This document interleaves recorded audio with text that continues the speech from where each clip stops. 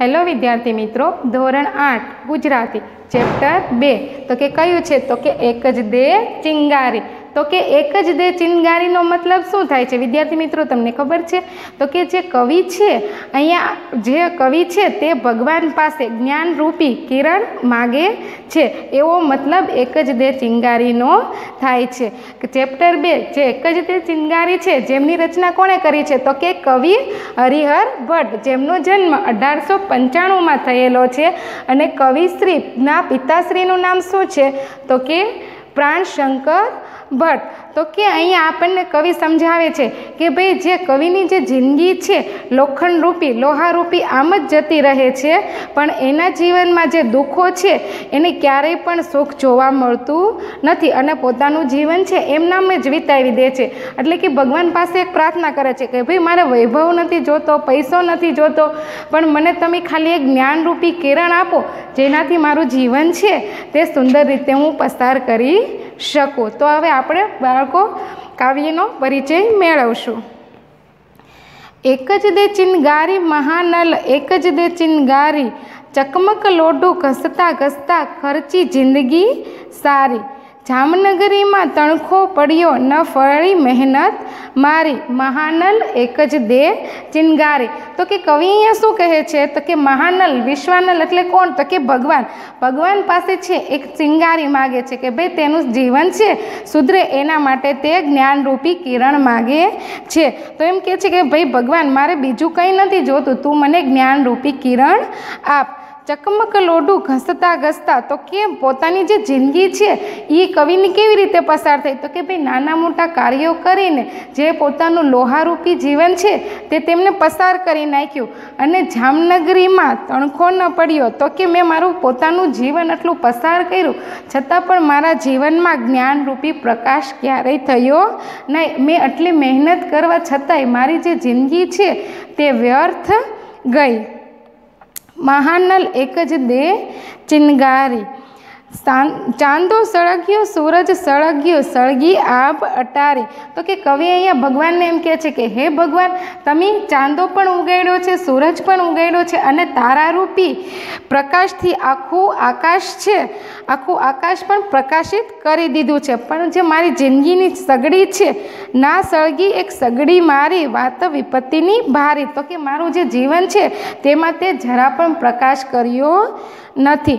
મહાનલ એક જ દે ચિનગારી. એ ભગવાન, તું મને એક જ્ઞાનરૂપી કિરણ આપ.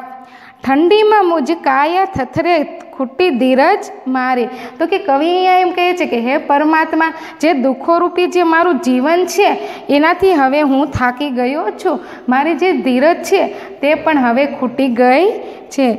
વિશ્વાનલ હું અધિક ન માગું માગું એક ચિનગારી, મહાનલ એક જ દે ચિનગારી.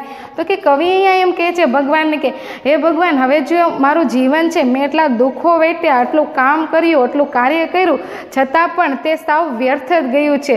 એટલે કે તું મને એક પ્રકાશ આપ, એક જ્ઞાનરૂપી કિરણ આપ. બસ એટલી જ ભગવાન પાસે કવિ યાચના કરે છે. હેલો વિદ્યાર્થી મિત્રો, ધોરણ આઠ, ગુજરાતી, ચેપ્ટર બે. તો કે કયું છે? તો કે એક જ દે ચિંગારી. તો કે એક જ દે ચિનગારીનો મતલબ શું થાય છે? વિદ્યાર્થી મિત્રો, તમને ખબર છે?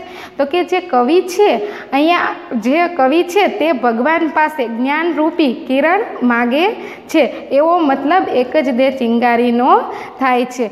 ચેપ્ટર બે, જે એક જ દે ચિનગારી છે, જેમની રચના કોણે કરી છે? તો કે કવિ હરિહર ભટ્ટ, જેમનો જન્મ અઢારસો પંચાણુંમાં થયેલો છે. અને કવિશ્રીના પિતાશ્રીનું નામ શું છે? તો કે પ્રાણશંકર ભટ્ટ. તો કે અહીંયા આપણને કવિ સમજાવે છે કે ભાઈ, જે કવિની જે જિંદગી છે, લોખંડરૂપી, લોહારૂપી આમ જ જતી રહે છે. પણ એના જીવનમાં જે દુઃખો છે, એને ક્યારેય પણ સુખ જોવા મળતું નથી અને પોતાનું જીવન છે એમનામ જ વિતાવી દે છે.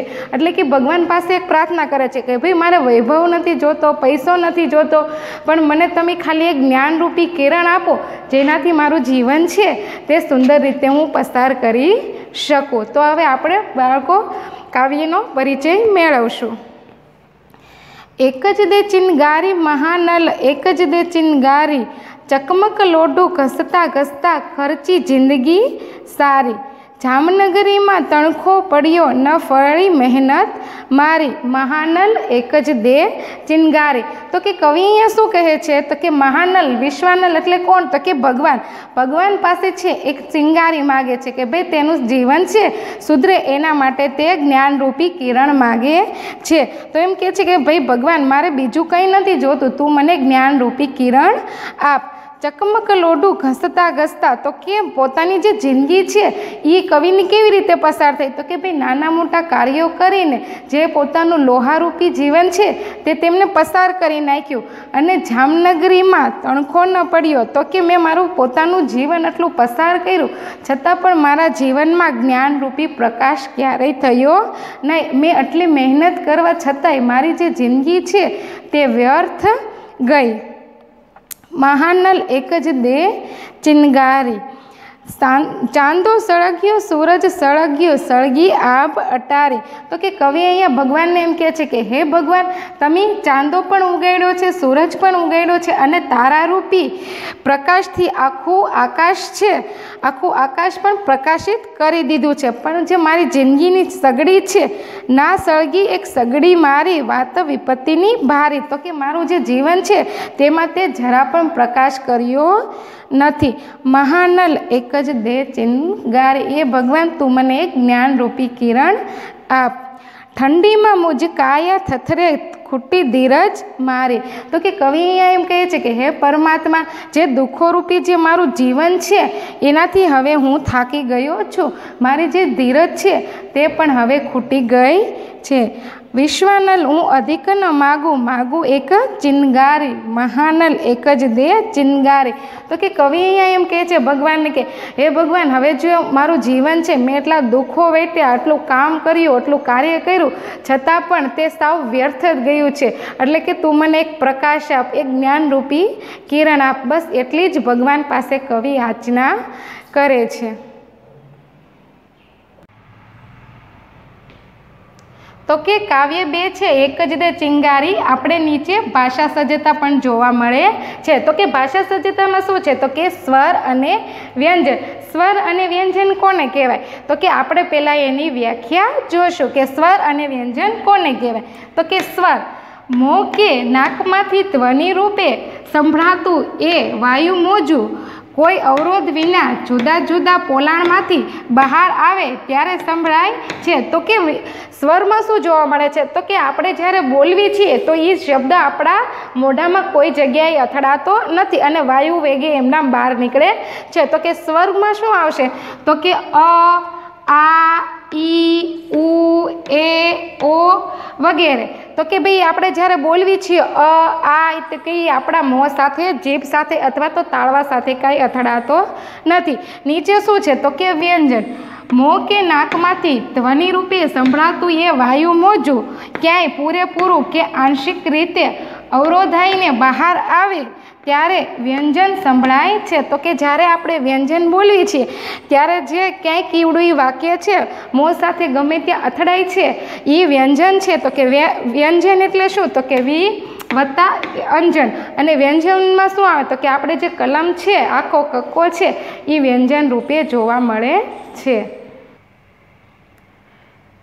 કાવ્ય બેની સમજૂતી અને ભાષા સજ્જતા વિદ્યાર્થી મિત્રો, તમારે તમારી નોટમાં લખવાનું છે.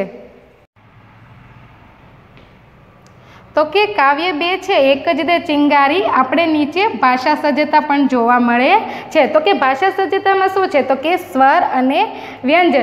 સ્વર અને વ્યંજન કોને કહેવાય? તો કે આપણે પહેલાં એની વ્યાખ્યા જોશું કે સ્વર અને વ્યંજન કોને કહેવાય? તો કે સ્વર.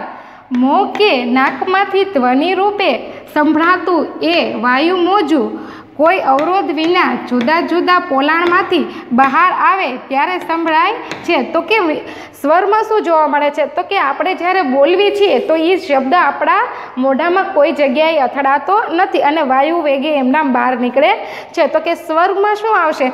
તો કે અ, આ ઈ ઉ એ ઓ વગેરે તો કે ભાઈ આપણે જ્યારે બોલવી છીએ અ આ તો કે આપણા મોં સાથે જીભ સાથે અથવા તો તાળવા સાથે કાંઈ અથડાતો નથી નીચે શું છે તો કે વ્યંજન મોં કે નાકમાંથી ધ્વનિરૂપે સંભળાતું એ વાયુ મોજું ક્યાંય પૂરેપૂરું કે આંશિક રીતે અવરોધાઈને બહાર આવે ત્યારે વ્યંજન સંભળાય છે. તો કે જ્યારે આપણે વ્યંજન બોલીએ છીએ, ત્યારે જે ક્યાંય કીવડું વાક્ય છે, મોં સાથે ગમે ત્યાં અથડાય છે એ વ્યંજન છે. તો કે વ્ય- વ્યંજન એટલે શું? તો કે વી વત્તા અંજન. અને વ્યંજનમાં શું આવે? તો કે આપણે જે કલમ છે, આખો કક્કો છે એ વ્યંજન રૂપે જોવા મળે છે. કાવ્ય બેની સમજૂતી અને ભાષા સજ્જતા વિદ્યાર્થી મિત્રો તમારે તમારી નોટમાં લખવાનું છે.